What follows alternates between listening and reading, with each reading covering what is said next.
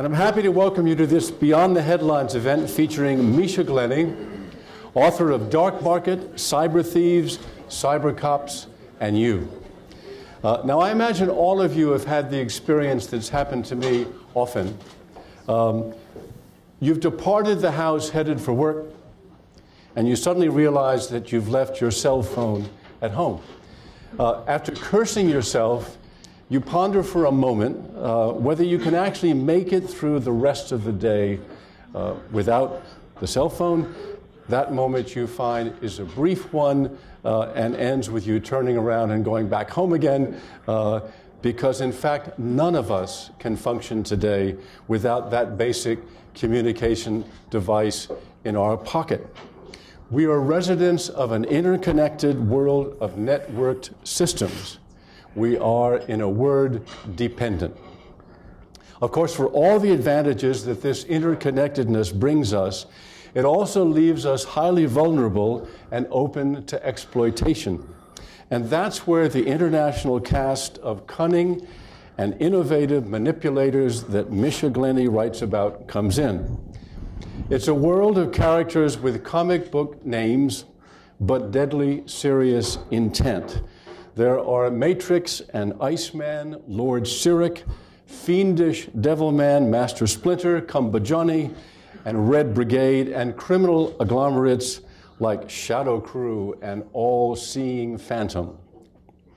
These crime minded geeks and nerds make colossal amounts of illicit money and spend it ostentatiously, but they are hardly glamorous jewelry heist movie types. Your average cyber criminal has the manners of a chimpanzee and the tongue of a Sicilian fishwife, writes Misha.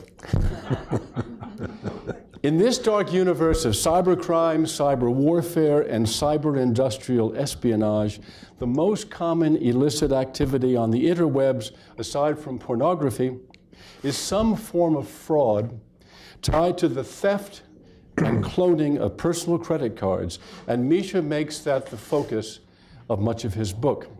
DarkMarket was the name of a vast criminal website with a membership of 2,000 of these credit card fraudsters and its own escrow system to guarantee payment. And Misha goes inside it to write about its creation, its function, and its eventual shutdown. He takes his readers to the first ever cybercrime convention, the Worldwide Carders Conference in Odessa in June 2001, and talks about the ease with which these professional carders can game the system and make enormous sums of money. A group of Swedes, in one example of excess that Misha recounts, go to Monte Carlo with a dozen cloned American Express Centurion cards and withdraw $400,000 in a single weekend. Nobody challenged us once, said one of them. And you got the feeling that people did this sort of thing all the time. Misha, a former BBC journalist in Central and Eastern Europe, has chronicled this activity and the countermoves by a host of law enforcement agencies from a number of countries in a book that is frankly a great detective story or as Charlie Rose put it in a recent conversation on his show with Misha, a real thriller. Misha has the bestseller author's trick of trailing a tantalizing, forward looking question at the end of each chapter so you feel compelled to keep plunging ahead nonstop. And I fell for it every time. It's a compelling read about a fascinating, up to the minute subject of real consequence I mention that because there are books for sale at the door, and Misha will be here at the end of the discussion to sign them for you. So, Misha, now is the time to tell us about this swampy world of carders and rippers and spammers and skimmers and crackers and keyloggers and virus makers that you've been hanging out in for the last two or three years and why clean livers like us need to worry about it. Welcome to IPI, Misha. The floor is yours.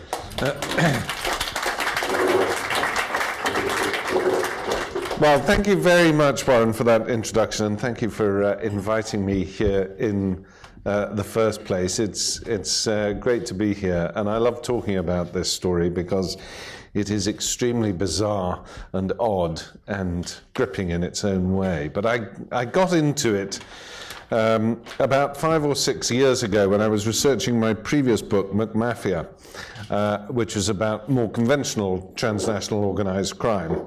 And uh, the thing that I did with McMafia, which I felt I had to do in order to make it sort of credible and interesting and of, of, value, was to go and speak to people who are involved in the business of transnational organized crime.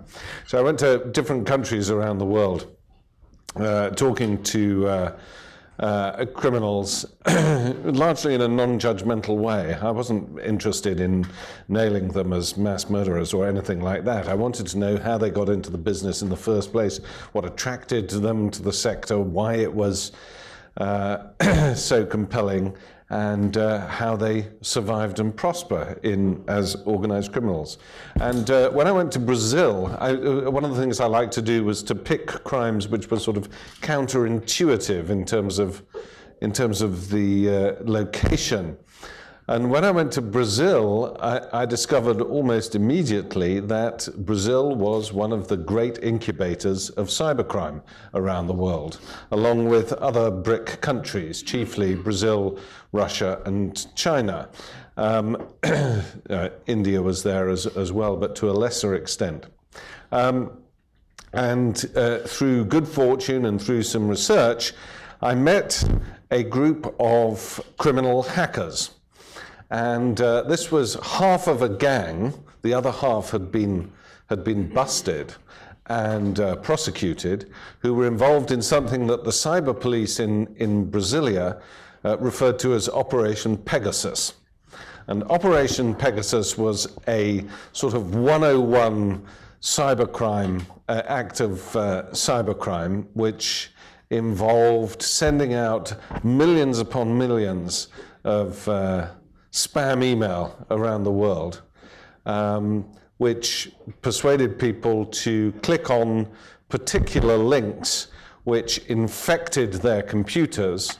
And so the guys who had spent out the spam, sent out the spam email could then read these people's passwords when they inputted them uh, when they were going on to their, to their bank accounts. Now, um, one of the things about cybercrime, and one of the sort of misconceptions of cybercrime, is, is that you have to be uh, incredibly technically gifted to become involved in cybercrime. But this is actually not true. Uh, I would estimate that around 80% of cyber criminal activity does not involve hacking, it involves what is known in the trade as social engineering. And social engineering is the art of persuading people to do with their computers which object, something which is objectively not in their interests.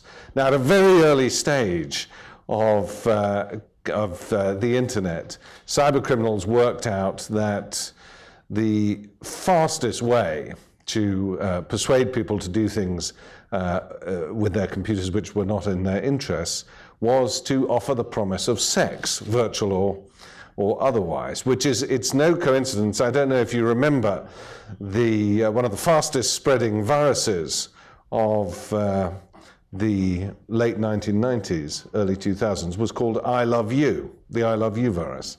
So you would get a spam email in your box and it said the strapline was I love you, dot, dot, dot.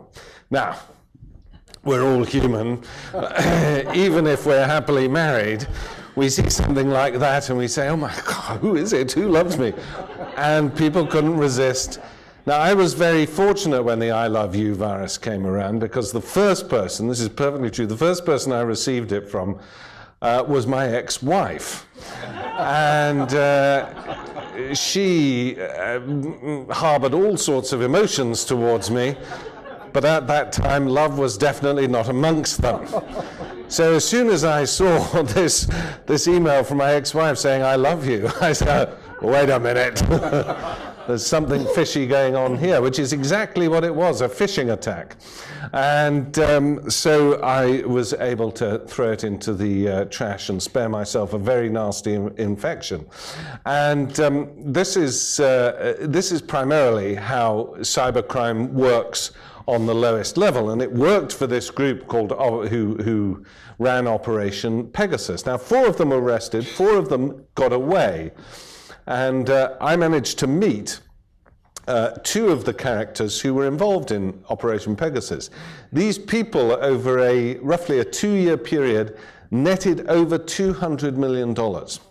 This is a huge sum of money, but comparable to the best uh, cybercrime uh, operations, particularly um, in the late 90s and in the first eight, nine years of, uh, of the first decade of uh, this century, um, when um, uh, the response to cybercrime was still relatively poor and, uh, and, and relatively weak in terms of banks and law enforcement and so on and so forth.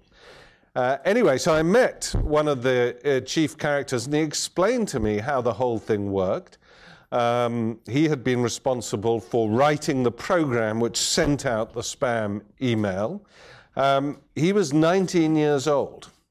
And this is really very striking, is, is that when it comes to very serious cyber criminal attacks, a lot of the time you will find that the people involved are still in their teens. Not only that, and I'll go into this a little bit later, um, it's almost impossible to imagine these people being involved in any form of conventional crime. I.e., the internet has created um, a certain body of people who are engaged in criminal activity who are only criminals because of the existence of the internet, which is something that I'm, I'll, I'll touch on a little bit, a little bit later. Anyway, so he was very young. I then interviewed the cyber police in Brasilia who had busted the other four members of the group. And I also had the opportunity at the time to interview. There's a company based out of Atlanta, Georgia, called uh, ISS, which has since been bought by IBM, which is one of the biggest uh, sort of corporate protection companies uh, in the world. And um, they had a filial in an office in Sao Paulo because of the fact that Brazil was such an important area for cyber attacks. So they have a big office in Sao Paulo, and I went there. And while I was there, there was a character down from Atlanta who named Peter Allor, who was uh, the head of their Special Investigations Unit, which had the appropriately dramatic title of X Force. And uh, Peter Allor was a former head of the CIA's cyber division. And this is something that in subsequent uh, subsequent research I've come across all over the place. When you go into you know places like McAfee or Symantec uh, or even Microsoft and Google, you know, with all their sort of touchy-feely West Coast uh, sort of atmosphere, you go to the security department. And you're invariably talking to people who are ex Secret Service, ex CIA, ex FBI, ex DEA, and so on and so forth, ex DIA as well. And uh, the interesting thing is, is, is, that the United States government invests a huge amount of money in uh, training up people involved in cyber security for state agencies.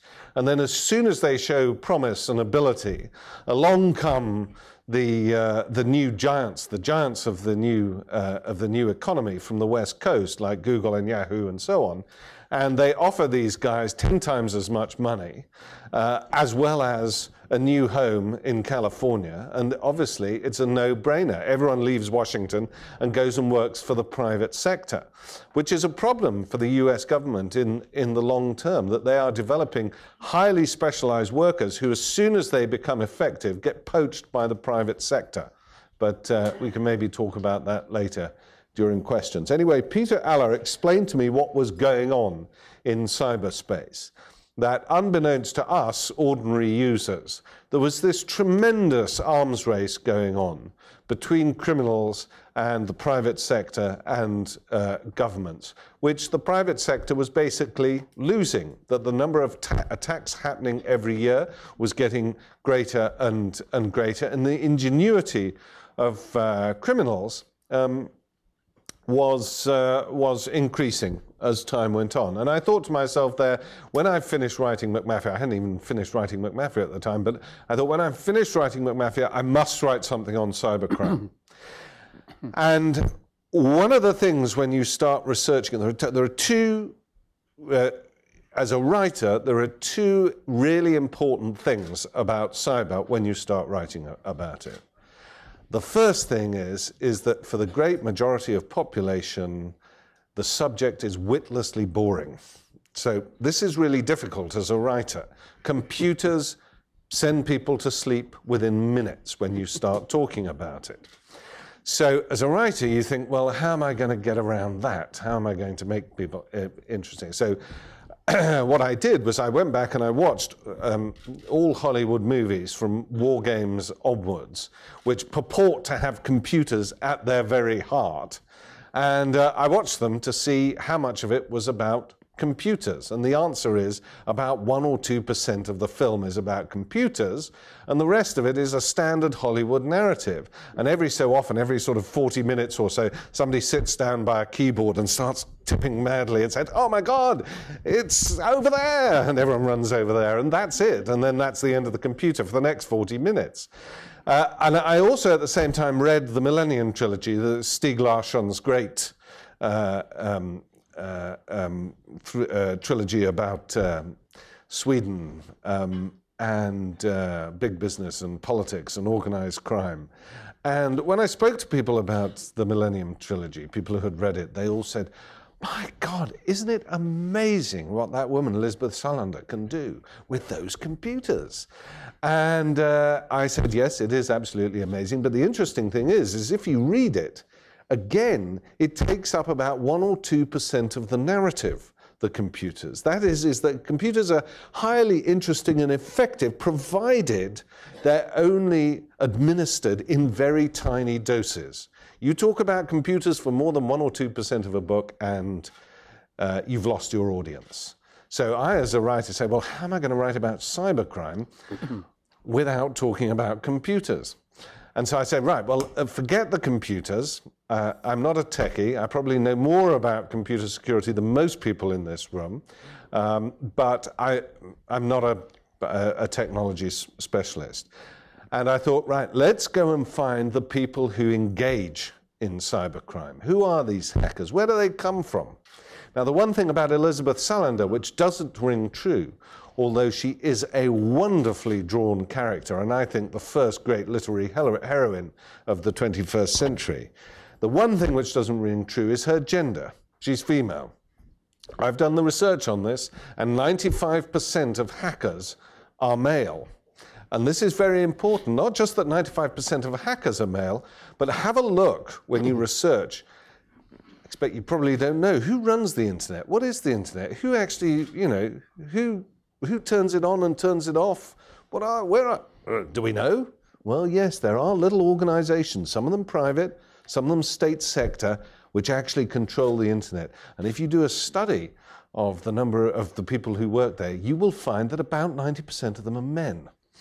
This is a technology which is so heavily male oriented um, that uh, Elizabeth's skills are hard to grasp, although I think Larsson draws the character so well that it is utterly credible. And there are some female hackers out there. Now, the point about Salander, which is really important, is, is she displays a lot of characteristics which, in a clinical situation, you could identify as being consistent with a diagnosis of either Asperger's syndrome or autism. And my hackers, who I tracked all over the world, I went down, I found them in prisons, uh, I found them on the run, I found them enjoying their ill gotten gains. I would say about 60% of them had character, behavioral characteristics and intelligence levels and abilities which were consistent with those of Elizabeth Salander. And this goes back to the original point about hackers being young. They learn their skills aged between about 13 and 16. They have real difficulty sometimes in engaging with the outside world in terms of social communications. But on the internet, they are sovereign operators who garner tremendous reputational, um, uh, tremendous reputations uh, amongst their peers. But of course, they're getting involved in this hacking work, and it's very difficult to know when is hacking illegal and when is hacking not illegal. When is breaking into a server or just examining whether a server has an opening, a vulnerability, legal, and when is it not illegal? We don't know. Well, we do know in the United States, because in the United States, under the Computer Fraud and Abuse Act, anything which is defined as exceeding authorized access is a criminal act. Now, about two months or so ago, um, when was it? No, it was in August of last year, so a bit longer. Um, my daughter, 19 uh, year old daughter, who's slightly feckless, went missing one night. and uh, she was meant to be going to stay the night at her mother's, the same one who, who I got that virus from, as it happened. and um, she left my place at six o'clock in the evening, and her mother was going to take her to the airport to fly off the next morning. And at one o'clock in the morning, I get a phone call from her mother saying, Where's Sasha? And I said, Well, she left here seven hours ago. She's with you. And she said, No, she hasn't turned up and her phone's turned off, and I can't get in touch with her. And uh, so we furiously, you know, rang one or two people who we knew she was. No one knew where she was, and so I decided to hack into her Facebook account. This is a big deal, hacking into a child's Facebook account. But hack it, hack I did. How did I hack into her Facebook account? Is it because I'm a great computer technical specialist? No, we know that I'm not. I did it because about seven years ago, my daughter told me what her password to her Hotmail account was. And sure enough, seven years later, she's still using the same password for everything, including her banking. This is one of why the lives of cyber criminals are made so easy, is because none of us can be bothered to change our passwords. You know who you are.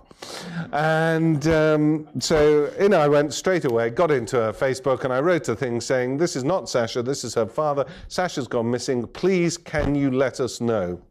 What is uh, happening if you happen to know. And within about 50 minutes, someone had rung her, and she had then rung her mother and said, and she was with some boy, and she said, I'm okay, don't worry, I'll see you. I'll see you later, sort of thing. Now, she didn't speak to me for the next couple of weeks, partly because she was so embarrassed because her behavior was so bad and partly because she was furious with me for hacking into her Facebook account. I don't know if any of you have got children who use Facebook, but you know, you walk into the room and wham, down goes the Facebook browser. You know, you're not allowed to see. This is my privacy. Have you noticed how children have learnt the language of the human rights community? it is quite astonishing how, you know, privacy, child abuse, oh, shut up. And, um, but uh, with me anyhow. Um, anyway, so she was very angry. And um, now, if she had been living along with me in the United States, and along with being feckless, she had been vindictive, she could have taken me to court under the Computer Fraud and Abuse Act and uh, charged me with exceeding authorized access and I would risk in that instance uh, a criminal, uh, a, um, a, a, period of imprisonment. Because what we, have, what we have started to do in the Western world is we have started to impose draconian, um, draconian uh, um, punishments on people, on people who hack. Now, the point is we don't differentiate between whether they are an officer of the People's Liberation Army, one of the guys from DarkMarket who's out to steal your wallet, somebody from Anonymous who wants to make a political point, um, but who doesn't want to use uh, um, Stratfor's Stratfor's passwords and uh, emails for, and credit cards for their own personal gain, or somebody like Gary McKinnon in the United Kingdom, who is subject to extradition proceedings here in the United States, but is being blocked in the United Kingdom, um, who was basically wanted to see whether the Pentagon had uh, come across evidence of, of uh, little green men arriving in the, in, on the world in the 1950s and 1960s, and who is certified as Asperger's with a secondary condition of uh, clinical depression. There is no differentiation. There is no way of rehabilitating hackers who have been imprisoned uh, for hacking. I have the case that I described here in DarkMarket of one Max Vision, uh, terrific guy. And uh, Max, um, in the late 1990s, was one of the West Coast's best so called penetration testers. Um, and uh, penetration testers are paid by big, big companies to hack into their systems to find out the vulnerabilities. Now, that is a legal hack. But of course, in order to learn the hacking skills in the first place, you have to have done it illegally. And so there's a real problem here in terms of what people can and can't do in terms of developing their hacking skills on the internet. Anyway, uh, Max was very good. He got paid a lot of money, but he was a congenital almost hacker. And he spent his entire time looking for vulnerabilities around the internet in the world. And he came across a vulnerability which affected all US government systems, including those governing systems at nuclear research labs at places like uh, Livermore. And because he was a decent guy and a patriot, he patched up that vulnerability so that nobody, the People's Liberation Army, the KGB, nobody could get in there uh, anymore. Good for Max. But of course, because he was an inveterate hacker, he put in a tiny little wormhole through which only he could wriggle because he couldn't resist it, because that's what hackers are like. And this was spotted by an eagle eye investigator from the uh, Air Force who had responsibility for uh, cybersecurity at the time. And as a consequence, he was put, he received a sentence of two years and he was put in the Taft Correctional Institute in California. Now, the Taft Correctional Institute is an open prison. Who goes into open prisons? Fraudsters and white collar criminals. And when Max Vision, master hacker, but a depressed Aspergery type of guy gets placed in the laps of these fraudsters. They can't believe it. A goose that lays golden eggs has been delivered up to them by the criminal justice system. And when Max is released and he can't get a job because he's got a criminal record, he can't work in security, he can't get his teeth fixed because this is America and you can't get your teeth fixed if you don't have any money in America. Uh, sorry, that's, a, that's an entirely separate issue. Um, uh, he's miserable, and out come some people from the Taft Correctional Institute and say, Max, here's an apartment in San Francisco, here's a car, here are some girls if you want girls, here is an alien, this is top of range, Alienware computer just for you, and all you have to do is do a little bit of work on our behalf. And he became one of the master hackers. He actually engaged in a battle with DarkMarket, which is why uh, I relate his uh, story. But he was fantastically successful and very, very difficult to track uh, down. Now, he was eventually busted, and this man with a planetary sized brain is sitting in Lompoc, California, where he'll be for the next 12 years or so. And uh, I think that you, you, in the United States, one's got to start rethinking how you deal and how you uh, approach with hackers, which is some of the work that I'm doing now. Now, I'm going to finish up by saying that first problem that I had was how do you write about a subject which is witlessly boring? So I, I wrote about these guys who come from all different parts of the world, from Sri Lanka, from Ukraine, from Turkey. They come from all sorts of different social backgrounds, but I said that most of them share these characteristics, including an advanced ability in maths and or sciences, usually, usually physics. Um, but the second issue that you come across when you start researching into cybercrime is you cannot understand cybercrime without looking into the world of cyber industrial espionage and cyber warfare as well, because the great genius of the internet is its interconnectedness. But in terms of security, that interconnectedness is its Achilles heel as well. And so you have two groups of people who, if you look at those three pillars cybercrime, industrial espionage, and uh, warfare. And generally, we have three types of people policing those uh, pillars, those three pillars. We have law enforcement, we have the private sector doing uh, corporate work, and then we have the military doing the cyber warfare stuff. But there are two agencies which move backwards and forwards between those three pillars. One are the hackers themselves, because you need at one point advanced hacking ability, whether you're a criminal, whether you're an industrial spy, or whether you're involved in cyber warfare. And the other agency is intelligence agencies. So here I am working on cybercrime, a big cyber criminal operation, and I suddenly start bumping into people from Turkish domestic intelligence, from MI6. They're all looking around and seeing where are the hackers going? Who is involved in cybercrime? What are they using that money for? Are the skills from somebody, say, in CarderPlanet, the original um, cyber forum, the people who created the first worldwide Carders conference, which was held in May and June 2002 in Odessa, a marvelous event, which I describe in, in the book. Are they working with the Russian state? When the Russian state uh, it is thought, orders the massive cyber attack on Estonia in April and May 2007. Who is actually perpetrating that attack? Why are some of those attacks coming from the criminal internet service providers, usually associated with the distribution of child pornography or credit card operations? So, we have become hugely dependent on networked computer systems. We don't like to know about the technology because it's simply too confusing and too boring. And yet, unfortunately, because our dependency is such, and let's not forget what happened last October. Mm-hmm when BlackBerry servers went down first in the United Kingdom, then in the United States. I happened to be at a think tank in Washington on the day that it happened. You know, people who are sort of hyper BlackBerry addicted, and they were going around the office banging their heads against the brick wall because they couldn't check their emails every five minutes. Now, that's just BlackBerry going down for four or five hours.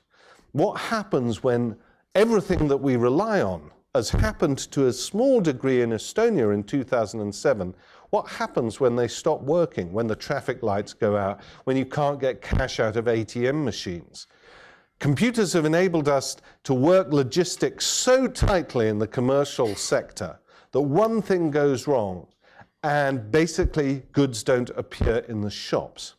But also, we, individual users, are the greatest vulnerability in the computer network system. Before, if something like, if your car broke down, okay, it was a pain for you, you were likely to stand by the side of the road for six hours, but life would go on.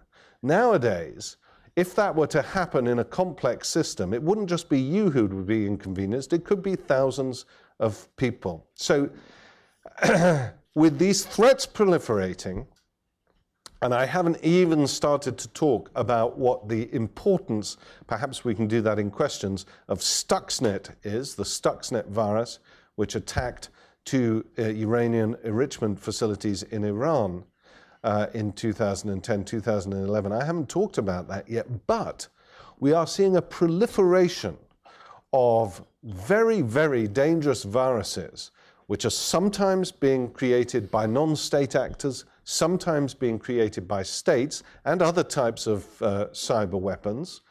Um, your drones here in the United States have been affected by a virus that the Pentagon cannot clean out of those drones. It doesn't appear to be doing anything, but it's very, very depressing the fact that the idea that drones have been infected by a computer virus. So all this is happening outside of any international framework or control because nobody is prepared to concede their relative uh, advantage, and they're all very different, the advantages they have, state to state, uh, in terms of uh, coming up with some sort of framework treaty about what we do about this. So, whilst I know that at the moment we're all really concerned about economic collapse in Europe and elsewhere in the world, and believe you me, coming from Europe, we are terrified about what is going on in the economic world. This is a problem which people can no longer, uh, the problem of cybersecurity, shove under the carpet. It is no longer something that can be the domain solely of computer uh, technology and security specialists and securocrats. We all have to start learning about this problem, um, even if it appears daunting and boring or whatever. And uh, I hope the DarkMarket will be a very modest beginning contribution uh, for everyone to start working out how important this is. Thanks very much.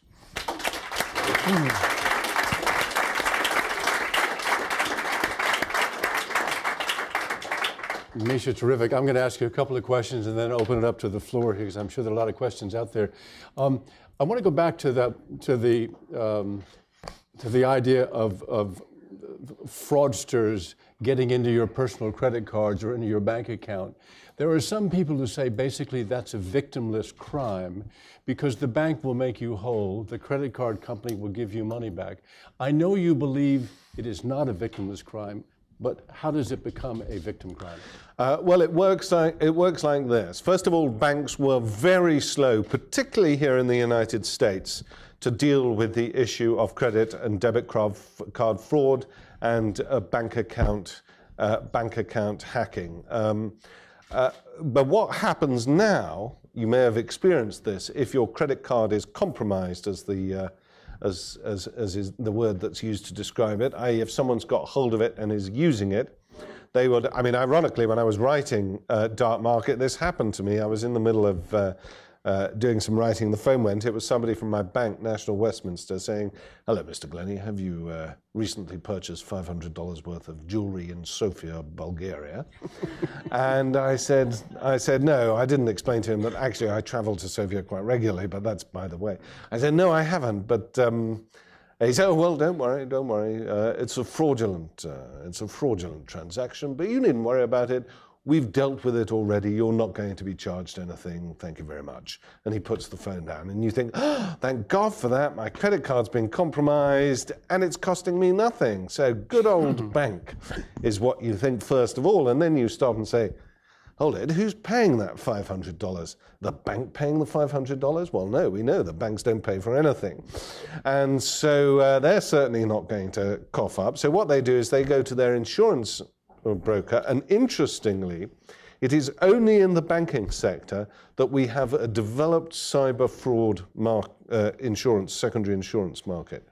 In terms of corporations and commerce who are having to deal with attacks all the time, there is no developed insurance market. People cannot insure themselves against data breaches. They can in the banking industry because the banking industry is so closed that it knows how much money it is losing, and it shares that with one instance and one instance alone, and that's the insurance market. The insurance company then pays out, because they're paying out, they do, of course, raise the premiums, and then the banks simply raise their charges on all of their customers.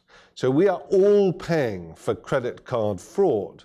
In some instances, you can see this in the insurance industry now. This is not cyber related, but in terms of uh, vehicle fraud, for example, although this is often cyber assisted vehicle fraud in the United Kingdom, where we have a huge amount of car theft in London. Uh, we have outrageous insurance premiums now, almost exclusively as a consequence of, uh, of um, the high levels of theft and the high levels of fraudulent claims on insurance companies.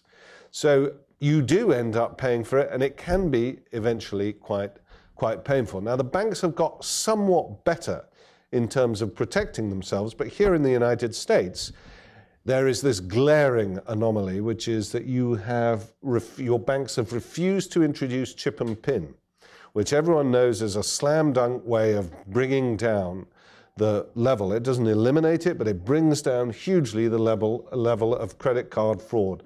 But the banks won't do it because they think it will cost them too much. Um, let me ask you something that you suggested we could talk about in the question uh, situation, then we'll move to the audience, and that, of course, is Stuxnet. You don't really talk about cyber warfare in the book, but you certainly have now in your remarks.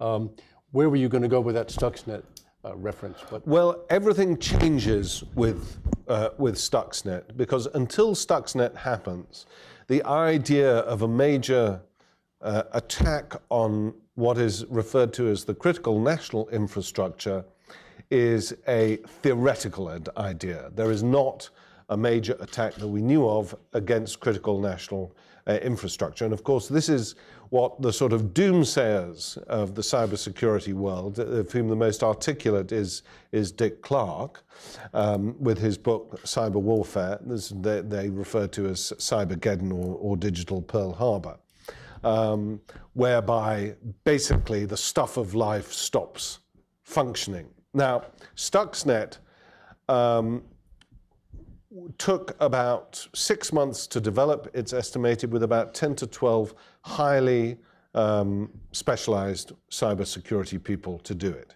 i.e., the sort of resources that is required uh, that, that only states can, states can provide. And Stuxnet was peculiar because it had four zero day vulnerabilities in it, uh, which I won't go into the details of zero day vulnerabilities, um, but they are the sort of magic key if you're creating viruses. And zero day vulnerabilities are hard to find, but it's what a lot of uh, uh, virus writers spend their time doing is working out zero day vulnerabilities, vulnerabilities which companies haven't yet spotted. So this was a very sophisticated operation, and its aim was quite clear once it had been uh, um, uh, once it had been reverse engineered. Its aim was to go specifically to the motor which ran the pump that spread water around the uranium enrichment facility, and it only worked with a very, very specific type of Siemens plant. And not only that, it was written so that nothing would recognize that it was there. Nothing in the Siemens plant would recognize that it was uh, that it was there. It was extremely sophisticated. Not only that, both of these plants were offline. They were not connected to the internet, which meant that you had a combination of new style espionage, the virus itself, and old style espionage. Somebody had to go over the perimeter fence at night, or you had to you have a spy inside the company who used a mm. who used a, a, a memory stick to put it in there. Now, what's really important about Stuxnet is not whether it was the US or Israel that did it, or a combination of the two, or as one minority uh, theory has it, the Chinese. What's important is, is that somebody has put all the resources into developing Stuxnet and then says to the world, not only have we developed this, but we can deploy it. And that virus risked um, a, a serious accident at a nuclear plant. Now, leaving aside that it's Iran and what you think about Iran, the point is, is once that had happened, it was gloves off. And everyone around the world said, whoa, people are deploying. That means we have got to start getting our act together. And since Stuxnet, without, as I say, any form of international treaty, people are sitting down and developing these weapons hands, hand, over, hand over fist now. And there is an arms race going on which is not being controlled. And uh, we need to push this up the, uh, up the agenda because these viruses can do immense damage to our lives. Excellent. If you would raise your hand, I'll call on you. And once again, when you get the microphone, please hold it steady because uh, we're being webcast. And also, could I ask you to stand up? It, uh... Thank you. I'm David Tereshchuk from the Media Beat. Thanks, Misha. Two, two questions. One very quick one, just out of personal curiosity. You, you mentioned the Asperger's uh, facet that uh, so many of these young people, you also said they were young, tended to um, share. An interest in music as well? Not that, uh, not that I know, uh, but an interest in games. They're, most of them are fanatical gamers, and in fact, one of them, uh, Matrix, uh, who's uh, a German. It's important to note that they come from very different social backgrounds. Matrix comes from a, very respectable middle class family in, in South Germany. His mother actually worked as a clerk of the local court, and he got into it because he was obsessed about games, but he couldn't afford to buy them. And so he hacked them.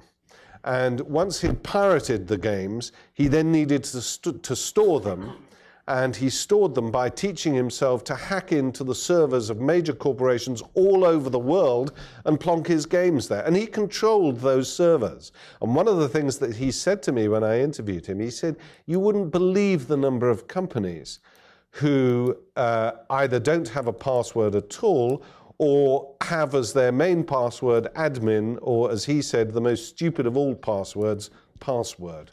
uh, and he said, all of this is like, he says, it's like people hmm. going with their wallet into a shopping mall and putting it in the middle of the shopping mall, opening it up and saying, take it, it's there. And so there is a, there is a real need for people to take their security more sensibly. And that's not just individuals, it is companies and corporations who are allowing this to happen. So games was much more important than music. They do talk about music, but I would say that it's secondary rather than primary. Interesting. Uh, and zooming right up to the macro, uh, I was at a session in a room not unlike this with two different individuals uh, playing your roles. One was Henry Kissinger, the other was Jon Huntsman, uh, very nearly the uh, winner in New Hampshire, maybe. Uh, but the, the, what they were talking about was just exactly what you were talking about just now the real crying need for some kind of treaty uh, to uh, work to function against international cyber attacks at that macro level. Uh, what possible hope could there be for it, though? Because I mean, I can see the the interest in nation states uh, wanting it, but how how do you actually negotiate? Well, it's very difficult because the um, relative advantages that each states hold are so different and they want to maintain those ad- advantages. So let us look at, in terms of the sort of macro game, basically it's, uh, uh, it's recognized that the United States remains the number one uh, developer of cyber offensive weaponry and also has the most sophisticated defenses in terms of the private in terms of the private sector in particular, but to an extent the public sector as well. But uh, it's also known that Russia and China are not far behind. Israel punches way above its weight um, in terms of uh, uh, both defenses and cyber offensive capability. France and Britain, Germany, France and Britain in particular, come soon after that. And then, you, of course, you have a load of non-state actors as well as as well as rogue state actors and so on and so forth. But the three big ones um, are China, Russia, and the United States, and also to uh, an important extent, Western Europe, European Union as, as, as well. Now, the United States rails very frequently at the highest level, up to Secretary of State and indeed the President himself, about the um, uh, uh, intolerable activity of the Chinese and the Russians, the Chinese in particular, when it comes to it's not just industrial espionage. I mean, the Chinese hoover up anything they possibly can. How they ever have the time to sit down and work out what the value of this data is, I don't know. Um, but uh, it's no secret that they have an extensive cyber espionage uh, operation. Um, the Chinese also attempt to define what you can and can't do uh, in the internet in China, not quite as dramatically and draconianly, and draconianly as the Russians do with their Orwellian system SORM 2, whereby all internet service providers in Russia have to send a mirror image of every bit that crosses the internet in Russia to FSB servers in Moscow. So the FSB knows everything that goes on which is why they're able to create this system of allowing criminals to do whatever they want in terms of credit cards in the European Union and the United States, provided they don't attack financial institutions in, in Russia. And when I uh, spoke to the guys from CarderPlanet, uh, the Odessa based group, which started up the whole forum system, they were explicit about this that they had an agreement with the FSB and the SBU in Ukraine that they would not touch Russian institutions and they were free to do what they wanted elsewhere. But the Russians know what's going on in their own internet. So you're seeing this fragmentation, and this is also happening in the US, it's also happening in the United Kingdom, the European Union as well. The fragmentation of the internet into huge national intranets, whereby there is a jurisdiction surrounding what can come in and out of the internet. Um, and they're very, very, they look very, very differently. So we bitch endlessly about the Chinese and their spying, as well we might, because they do spy endlessly. But have a look at this. Let's say that you're an officer of the FSB, a cyber officer of the FSB or of the, of the PLA, and you look at the United States. The United States controls a lot of the internet infrastructure. It holds the two largest databases of personal information in the world by far, to wit Facebook and Google, and in particular Gmail. Now, if you're an FBI officer or a CIA officer and you want to access something from a Gmail account, with a court order, you can go into any Gmail or Facebook account you want within 24 hours.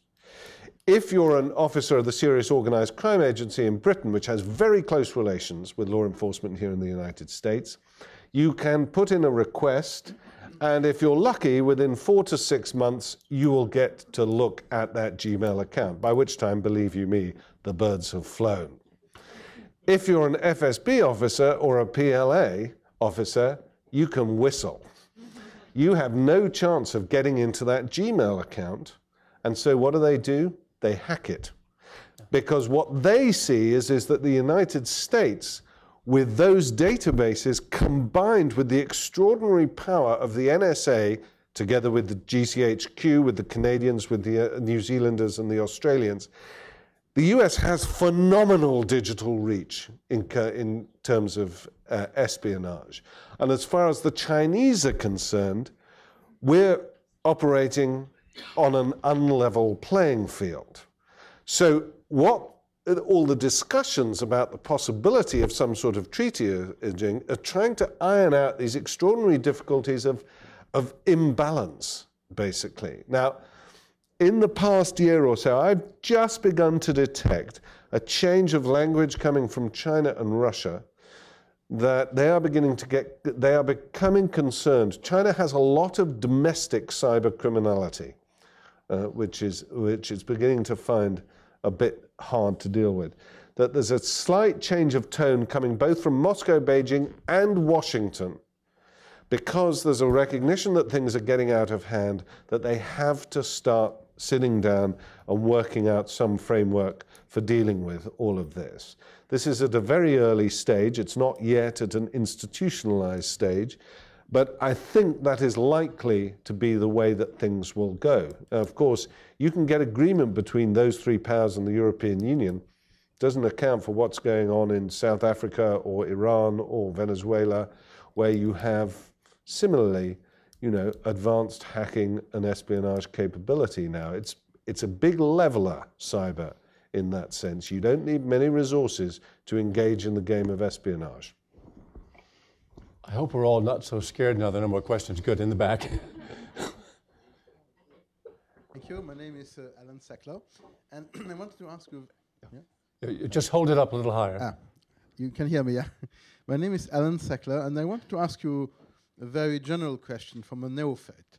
Does the sheer weight and volume of all this uh, cyberspace uh, not is it in the end effect not a, an impediment to analytical skills and to, to draw the right conclusions from the sheer mass of, of, of raw data and raw materials available. Thank you. Yeah, well, it's um, you're, you're, you're absolutely right. What, of course, people have been developing at the high end is computerized analytical tools. So that what they're looking for is data patterns. This is beyond human capacity data patterns which are anomalous at an extremely micro level.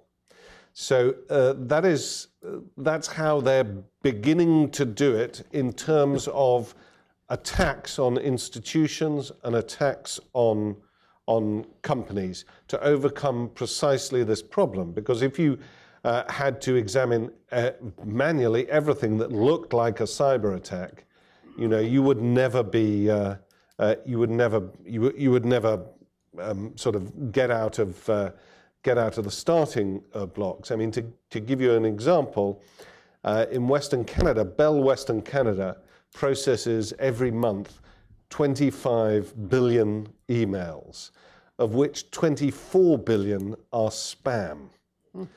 So now a lot of those spam are completely harmless, unless, of course, you're the sucker who decides to send $5,000 to some guy in Nigeria. um, but uh, what they're doing, they're having to analyze those 24 billion. And they do it through this data crunching, whereby they can spot the anomalies which have links to infected, to infected websites. I, what are the dangerous spam as opposed to the relatively, relatively harmless spam? And that is done on a macro, on a macro level by the security companies um, at, at, at the high end. So there is some robotic uh, response to this. Um, but on the whole, I, I do also wonder how intelligence is able to deal with all this material. And it's one of the things that I wonder about the Chinese. I'm sure, you know, because all this stuff gets back to servers uh, in, in Hainan, Hainan uh, island or wherever it is, wherever it is. And I don't know how they go about analysing it. To be perfectly honest, I mean it's not my bag, but people must know this. I mean, you know, people know it in Washington. I'm sure. I just haven't got an answer to it myself yet. Please, here in the second row. And could I ask you to stand and identify okay, yourself, fine. please? Thank okay, you. Thank you.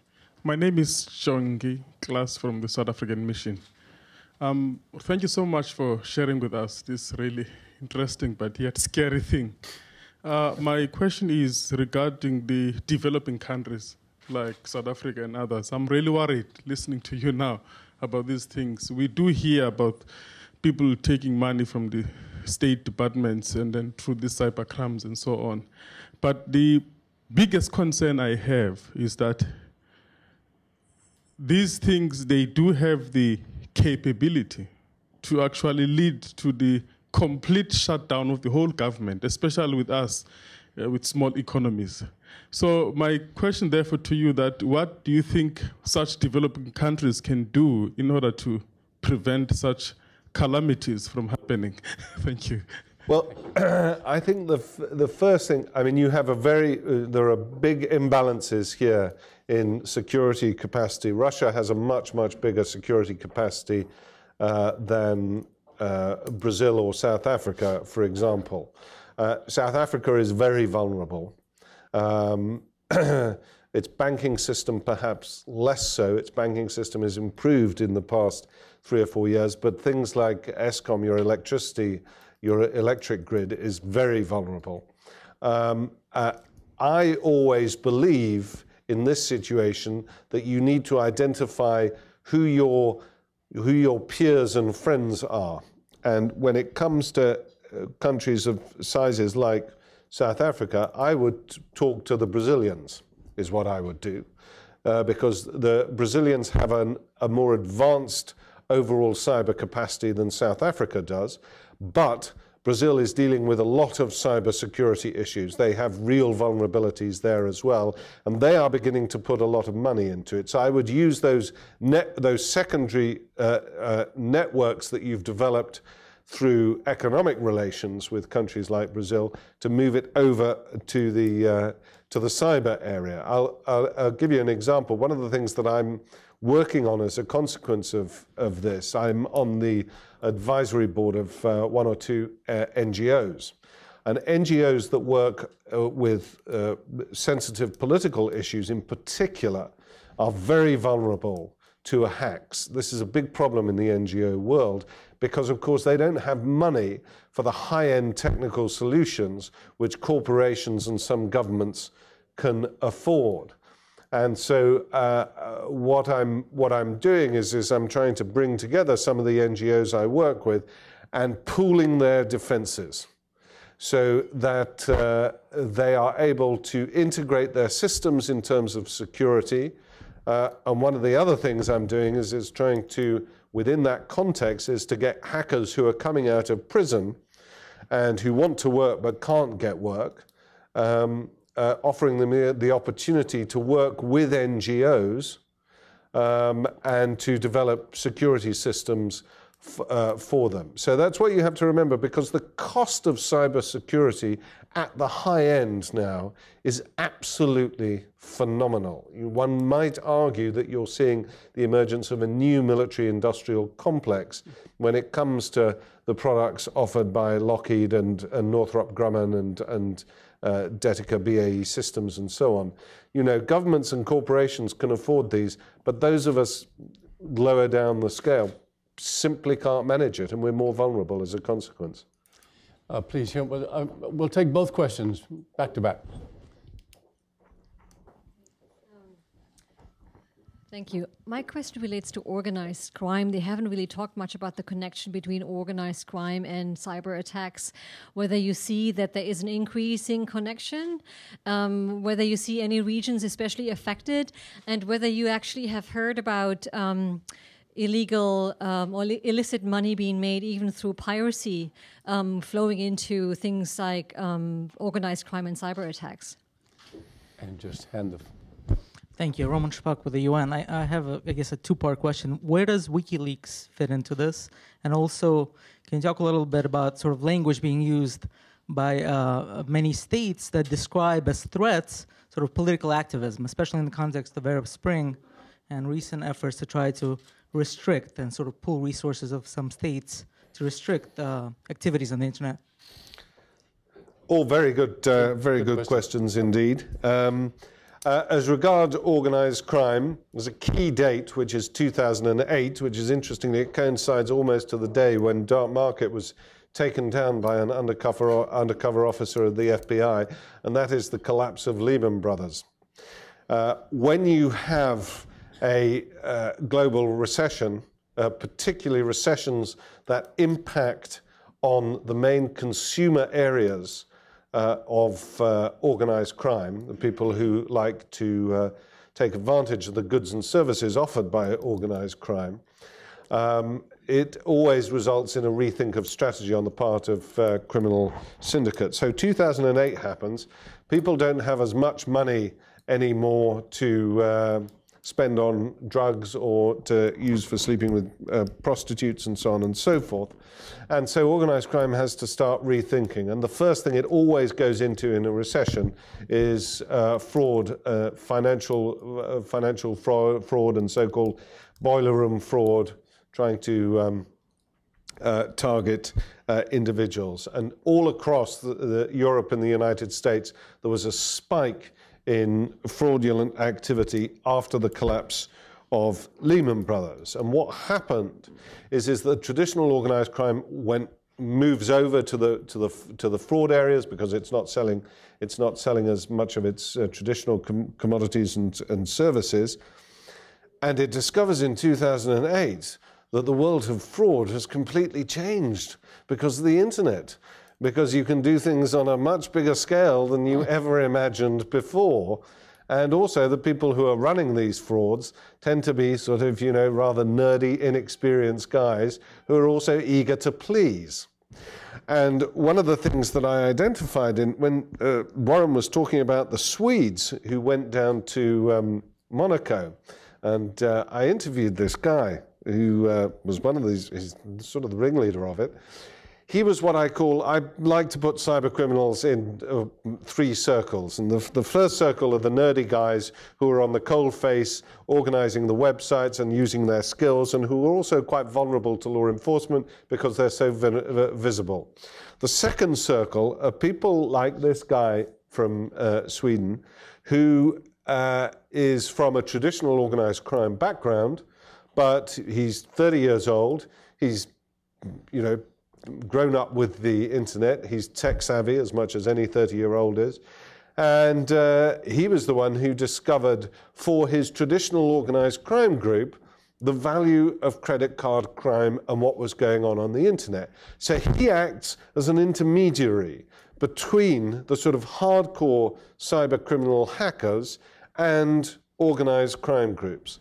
Since 2008, law enforcement agencies across uh, the world have uh, spotted an increase in much more traditional strategies for fraud over the internet in, associated with, uh, with uh, criminal with uh, criminal syndicates. And that has been the general trend uh, since then, and it's a trend that is likely to increase because they are all discovering that internet fraud is um, low risk and high returns. Let me give you one example that happened in 2010 very briefly.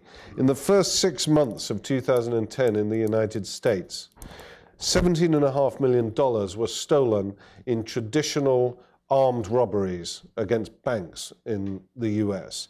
And of course, when you have an armed robbery in the US, uh, and people go in with you know pump action shotguns and say hand over the money or whatever. It's only minutes after they leave the bank that not only are the police chasing them, but CNN have got their helicopters out and they're following everything that's going on. And there's huge publicity about this. Now, during that same period of six months, there was a fraud perpetrated by a Ukrainian group from Kiev. Uh, known as a payroll scam, who infiltrated the uh, payroll systems, the servers of two major corporations uh, on the West Coast. And what they did is they broke into the servers and they created dozens of phantom employees in these large corporations. And these phantom employees, um, you know, uh, newly minted, um, were, of course, awarded um, uh, you know, got an, uh, a monthly salary. And that salary was sent out to so called money mules in the United States. When you go on the internet and it says, earn money by doing nothing but sitting at your computer, the chances are that is going to be a, uh, a group from somewhere like Ukraine saying, Can you please put your bank account at our disposal? Every month you'll get $10,000 put in, send $9,000 to a bank in Latvia, which is what happened in this case, and the money then went from Latvia to Ukraine, and uh, you can keep $1,000. Sounds like a good deal. $1,000 for doing nothing every month. So those are the money mules. And uh, within that six month period, of the first six months of 2010, that one Ukrainian group stole $40 million, which is over twice all the money stolen uh, by conventional armed robberies in the United States in the same period. But of course, there's no publicity because you can't send out the helicopters and watch the gangsters and coppers shoot it out. so, um, you know, that's what they mean by low risk and high returns in the cyber world. So, uh, organized crime is becoming an ever greater presence on the uh, internet. And of course, there's also cyber facilitated crime, which is a, a, a, different section of cybercrime, which is basically making the work that you do in traditional crimes easier because of your use of uh, computers. Now, in terms of WikiLeaks and uh, the Arab Spring and so on, this is really important. That, and it's why I mentioned earlier on about the fact that in the United States, there's no differentiation between people who are criminal hackers, between people who are ideologically motivated, uh, or who are spies, or whatever. The key phrase is the exceeding your authorized access. And if you do that, you're treated in the same way. But Anonymous, who uh, um, you know have uh, mobilized in defense of uh, Assange and, and WikiLeaks, um, uh, argue, I think quite convincingly, that they do this for idealist and ideological reasons, and they see themselves as a political, uh, a political group. And I think that on some level, uh, it's very important to uh, recognize that. WikiLeaks, uh, uh, okay, in, in crude practical terms, what is the impact of, of WikiLeaks? First of all, it's a consequence, of course, of the 9/11 post 9/11 touchy-feely let's share all information in the USG, um, you know, which is absolutely great. The people who tore their hair out when this was uh, when this was decided were people who work in intelligence. You know, they spend all this effort and time and sweat and blood getting this info, and now they have to hand it to those useless people at State Department who hand the stuff out like candy, and uh, you know, so that's bad. But the good thing is, is, is the U.S. government can be proud of its um, of its employees in the State Department because I think a lot of those cables were really well written and very interesting and illuminating. I don't think they gave much away. but they've certainly helped all of us on a lot of difficult subjects. So that's quite good. But of course, since then, President Obama has learnt the lesson, and the touchy feely sharing of information no longer exists, and intelligence agencies are once again. Uh, uh, are once again quite quite happy about that. So actually, what WikiLeaks has done has worked in favour of those who argue for a tight control um, uh, on uh, on information. Uh, I think that Assange is a really fascinating character in political terms. He's done some really interesting stuff with the WikiLeaks, and as a journalist, I heartily uh, approve of it. But there is a problem. Uh, Assange himself has no accountability. He, in many ways, displays some of the characteristics of the third group of internet criminals who I haven't talked about, who are the ones who are both great, great with great technical ability, but they're also social engineers. They combine these uh, extraordinary abilities uh, in a behavioral pattern which psych developmental psychologists refer to as psychopathic, which doesn't mean they want to kill people. Um, uh, but it means they exploit their ability to manipulate people and their, their advanced uh, skills. And there is no accountability to Assange, uh, Assange himself.